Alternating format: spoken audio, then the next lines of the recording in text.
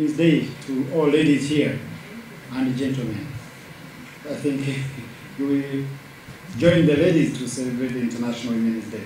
Uh, on behalf of the High Commissioner of the Republic of Rwanda, His Excellency Ernest Rwamucyo, uh, who was invited but is now in Rwanda, I would like to uh, share with you, uh, we were invited to share Rwanda's experience in, in, in the area of gender empowerment and employment. And uh, I had a very long presentation uh, by the High Commissioner, but I will not be able to make it. I will just give you a summary. Uh, my name is Joseph Kawakeza, and I'm the Deputy High Commissioner of Rwanda. Uh, when we talk of Rwanda, people hear Uganda. It is not Uganda, it is Rwanda. And um, this country uh, came on the world scene uh, after the, the uh, after the biggest, I would call it, uh, the, the, the, the most tragic event of the, of the century, that is the genocide uh, against Tutsis in Rwanda.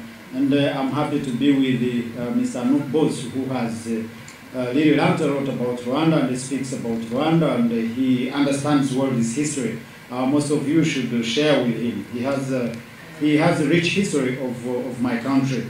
But today Rwanda is coming on the world stage with a new face. And uh, I'm proudly standing here to say that we have a world record in terms of women empowerment. Rwanda has the biggest number of women in parliament. If I just take you briefly, in terms of uh, women representation, we have two chambers of parliament. And in the lower chamber of parliament, which is the chamber of deputies, we have 61% are women. So uh, men constitute only And we have the world record, at least the record goes to Rwanda in that regard. In the Senate, which is the upper chamber of parliament, we have 38%. In the cabinet, the ministers, it is 50-50. We have 50% men and 50% uh, women. Uh, judges and the clerks, it is 50-50. Ambassadors, we wanted to share uh, our lessons. How have we achieved that? And uh, the answer, I can just summarize it in a few words. It is just creating an enabling environment. An enabling environment, you just create an enabling environment, and the women will just shine out, and they will uh, really be. Um, I mean, it is just automatic if you create the enabling environment, and uh, that enabling environment has a number of uh, challenges and uh, opportunities. But let me just take you a little through. One is the political will in, in terms of creating an enabling environment. The political will, it calls for leadership to understand. I can read you just one expression uh, by one excerpt uh, by our president. He said, For us, ensuring gender equality in Rwanda is not just a moral issue, it is a right issue and participation of women in all aspects of national life, including the liberation struggle as an indispensable contribution to the socio-economic transformation of our country. I talked about the history of Rwanda and where it came from. You know, after the war, Rwanda had uh, 56% women and only 44% men. Rebuilding the country wouldn't be possible if women had not be uh, had not act accordingly, have them participate, and that they are the ones I would say. Women are the ones that have brought Rwanda on stage now to be what it is. You have heard about Rwanda in the media. It is not about war, it is not about genocide, but it is about the achievements that are being made.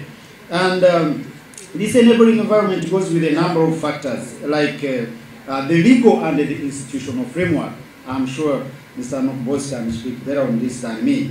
And uh, what one has done is just to ensure gender responsive legal and institutional framework. In our constitution, it is provided that in any, um, uh, it, it provides for 30% women representation in decision-making uh, positions.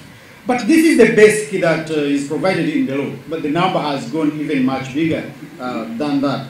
Uh, a number of policies have been enacted just to enable women play on equal stage with the men. There are big challenges, of course, from our culture and our tradition where uh, there is this imbalance. Tradition, uh, our culture put ladies behind and uh, uh, they wouldn't be seen, they were just in kitchen and uh, in backstage, but today they are on the front page. if you want peace in Rwanda, don't say something wrong about women. I, think even when they wrong, they just try to make it right. No, I'm, I'm just kidding on that. But our leadership, uh, particularly our president, if it is anything concerning women, is much concerned and he has played a big role in this. There are quite a number of institutions in Rwanda that have been created to create this enabling environment. We have the Ministry of Gender, we have the National Women's Council, we have the Gender Monitoring Office, we have the Women Advocates Forum, and many other institutions. So if you create such institution, of course, they are the ones which will work in the environment to ensure that women are well um, uh, represented.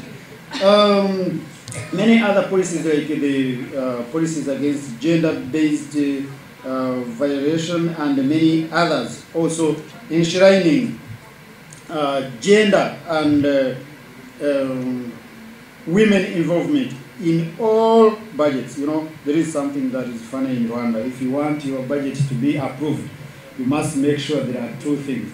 It must be gender responsive and it must be environmental responsive. At first, we couldn't understand how do you make uh, a gender-based budget. Uh, but now everybody, whenever you are presenting your budget and they want it to pass through the parliament, you must show that there is a gender component where and the women involvement and many other policies uh, like that. So, ladies and gentlemen, the presentation was too long and um, it would take uh, more than an hour to present, but that is just the, the brief. And um, we would be glad to share with anybody who would want to know more and learn more about how Rwanda has come to this. Thank you so much.